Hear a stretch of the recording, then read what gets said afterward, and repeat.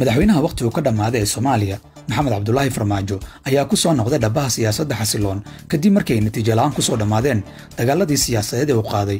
Sannadihii la soo dhaafay kuwaasoo dhinaca kala sababay inuusan maanta haynin wax weyn oo dhaxal ah oo uu kaga tegaya dowladnimada soomaaliya.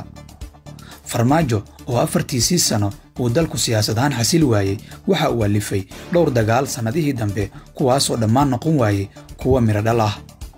Dagaaladan siyaasadeed waxaa ku baxay wakhti badan. Lacagtii dalka ayaa sidoo kale loo adeegsaday fikradahan madhalayska ah. Dadka soomaalida ah ayaa mar walba u muuqday inay ka cagajiidayaan in wakhti iyo qarash lagu bixiyo aragti loo jeedo inaysan bilaaw saxan lahayn ama aanay yeelan karin dhammaad wanaagsan. Laakiin farmaajo iyo dhowrkii nin ee ku hareeraysnayd uma joojin dareenka dadweynaha. Midda koowaad waa dagaalkii maamul goboleedyada. Farmaajo waxa uu siyaasad dadku ka fajaceen ku wajahay nidaamka federaaliga ah ee soomaaliya. Federaal diidnimadii oo lala qaadan waayey ayuu markii dambe ku beddelay inuu qabsado maamul goboleedyada oo uu dhiibto siyaasiyiin uu isagu arkayay inaanay waxgal ahayn han siyaasi ah oo weyn qabin isaga aan ka hor imaan karin oo wax badan aan ka fahamsanayn loolanka siyaasiga ah iyo midka qabaliga ah ee ka jira soomaaliya. Federaal diidnimadii iyo farsamadii dadka liitay labaduba uma shaqaynin farmaajo puntland iyo jubbaland gacan waa ku soo dhigi waayey. Saddexdii kalena wax garab ah waa ka waayey maalintii ugu baahida badnaa oo ahayd markii uu qaatay muddo kororsiga ee uu rabay in la taageero. Dagaalka maamul goboleedyada malaayiin doolar ayaa lagu bixiyey.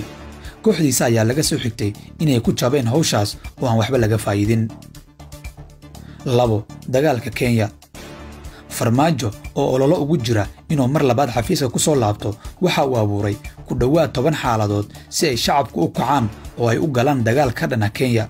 Ama loo aamino in kenya necab tahay farmaajo sidaa darteedna uu mudan yahay in xafiiska lagu soo celiyo.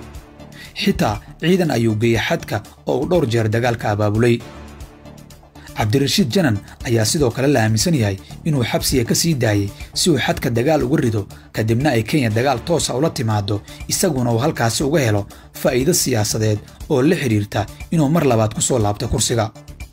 Kenya mar walba saamayn maaliyadeed iyo mid farsamo ayaa la sheegaa inay ku lahayd labadii doorasho ee ugu dambaysay ee ka dhacday soomaaliya.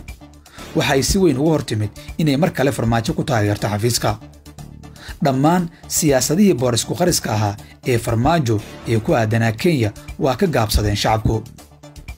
Isagoo aan wax natiijo ah ka gaarin dagaalkii dantiisa huwanaa ayuu dhowaan soo celiyey xidhiirkii saddex burburinta wadahadallada doorashada.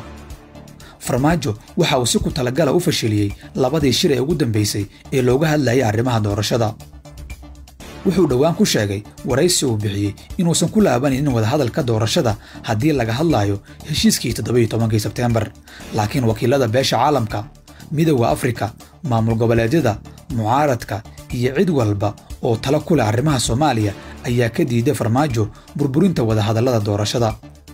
Hadda waxa uu ku qasbanaaday isagoo intii hore ka tabar yar inuu wadahadalka ku laabto waana jab kale oo culus. Afar muddo kororsigii farmaajo waxa uu muddo dheer ku haminayay inuu samaysto muddo kororsi oo uu dalka sidaasi ku haysto. Wuxuu heshiis la gaaray guddoonka golaha shacabka. Wuxuu ka shaqeeyey inuu xidho dhabbo walba oo doorasho lagu gaari karo. Wuxuuna ugu dambayn qaatay muddo kororsi laba sanno ah oo la huuriyey. Laakiin si rasmi ah ayaa adduunka iyo soomaalidaba uga hor timid muddo kororsiga waxaana ka dhashay gacanka hadal ciidan iyo dhiig daata isagoo qasban ayuu farmaajo ka laabtay muddo kororsigii. Fadeexaddii siyaasadeed ee sannadka ayaa lagu tilmaamay arrintaas. Shan adeegsigii awoodda ciidanka. Farmaajo wuxuu afartiisi sana isaga dhammeeyey inuu dhiso ciidan laakiin wuxuu xoogga saaray inay isaga caashaqaan aaminaan una adeegaan. Taasi waxay dadka qaar ku ridda cabsi laakiin dhowaan waxaa soo afjarantay aragtidiisii ciidanka kadib markay ciidankii si weyn u kala qaybsameen oo ay magaalada xaafado ka mid a qabsadeen ciidan diidan inuu doorasho la'aan sii joogo filla soomaaliya. Madaxtooyada soomaaliya ayaa hareeraysnayd laba iyo toban maalmood. Ra'iisul wasaaraha xilgaarsiinta maxamed xuseen rooble ayaase markii dambe wadahadal uga dulqaaday ciidanka xarunta filla soomaaliya. Shantaas dagaal ee uu farmaajo qaaday shantiiba waxa ay ku soo dhammaadeen guuldarro hadda ma qaadi karo dagaal dambe oo siyaasadeed oo ma haysta sharciyad mana cadda waxa ay kooxdiisu hindisi karto si dib loogu doorto farmaajo maadaama ay wakhtigii dalka loogu adeegi lahaa ku dhumiyeen dagaallo siyaasadeed oo bilaa natiijo ah. Maxay kula taadig